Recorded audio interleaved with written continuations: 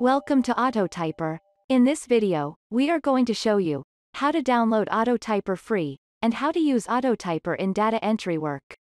Let us see how to download free AutoTyper for PC. Open any video from our AutoTyper channel. Go for the description below the video. Find the link in. Click the link to download free AutoTyper. Click the link or copy and paste the link in a browser and press enter. Free AutoTyper automatically downloads in the format of the zip folder. After downloading the zip file, extract the zip file. Free AutoTyper for PC will be extracted from the zip folder. Now your free AutoTyper is ready for autotyping. In this video description, you can find the download link for free AutoTyper. Your company provides you form filling data in JPG or JPEG images.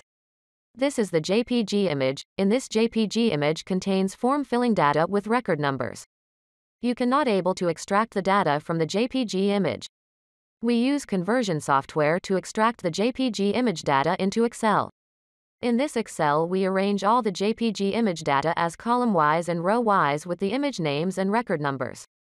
With the image names and record numbers, you can easily identify which image and which record you want to auto-type into your company given software. Auto typing process. Press the Select Excel button in AutoTyper and upload converted Excel. In Excel record numbers or forms, numbers will appear on the right side of the AutoTyper. Check for proper arrangement in record numbers. Select which record you need to auto-typing. In the Select Excel button downside, there is a speed adjustment option is there. In this speed adjustment option, you can able to adjust typing speed of the AutoTyper. If you want high-speed typing, you have to put 100 points for 100 characters per second. If you want medium speed typing, you have to put 50 to 60 points for 50 to 60 characters per second. Press the Start Typing button, and place the cursor in the client-provided software first column. AutoTyper automatically types all the Excel data into the client-provided application.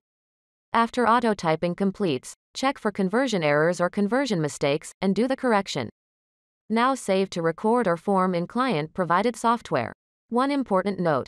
While autotyping is running with AutoTyper software, please don't touch your computer keyboard and mouse. If you press anything typing focus will go outside of client software and autotyping will be interrupted. Our AutoTyper. Thanks for watching the free AutoTyper video. For more details contact us.